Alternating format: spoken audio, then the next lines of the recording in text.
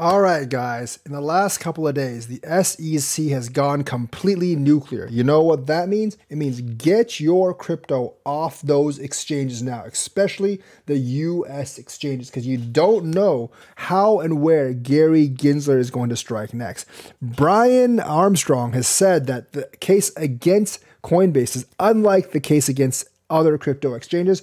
I don't know if you can actually believe that or not, because not only have they sued Binance and Coinbase both for listing the same unregistered securities, they've actually gone nuclear in this war. All right. They've actually uh, asked to freeze Binance.US's assets, which means if you have money on Binance.US and the SEC forcibly uh, causes them to freeze. And I hope the judges actually deny this action because I don't think uh, the assets on Binance.us for customers are in any danger unless the SEC freezes them.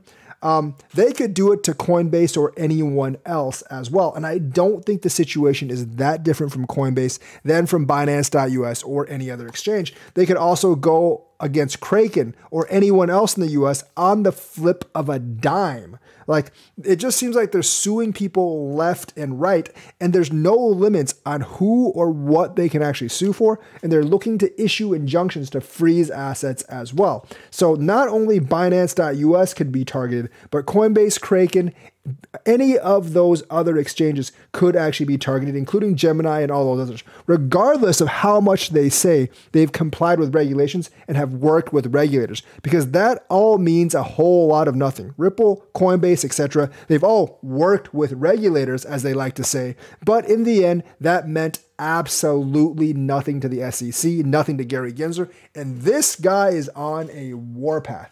I think he knows his time is running out, so he needs to extract as many compensations and as much money from these uh, companies as actually possible. Because I don't think, I think in the back of his head, he knows he's not going to win every one of these lawsuits. But in the meanwhile, this could actually take a very, very long time. And regardless if Bitcoin goes up or down, it does not look like the SEC's um, actions have actually affected the market all that much. It's basically recovered today, as you can see.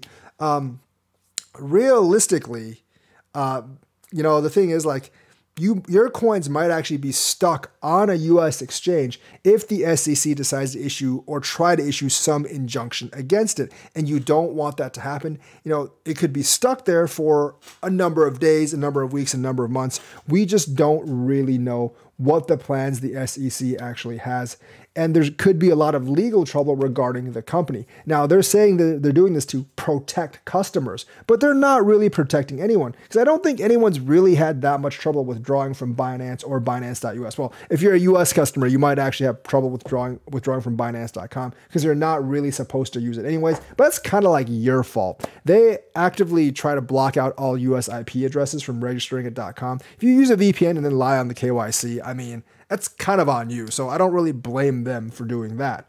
But the thing is, like, you need to get your money off those exchanges. Uh, don't put it on Atomic Wallet either, because that's an awful idea. But I don't care if you have to put it on Ledger, Trezor, or you have to use like the official wallet. You should you should do one of those because if you don't, you definitely might be hurting in the future. So get your money off those exchanges. Know that the SEC's gone nuclear and they're willing to do anything to get these exchanges out of the United States. I don't know if their buddies are planning to open up an exchange or whatever, or they want these big banks to take over these exchanges. But either way, they're going nuclear, and there's no predictions of what they can actually do. So that's the news for today. Let me know what you think. Like and subscribe, hit that bell notifications button. Thank you, and have a nice day.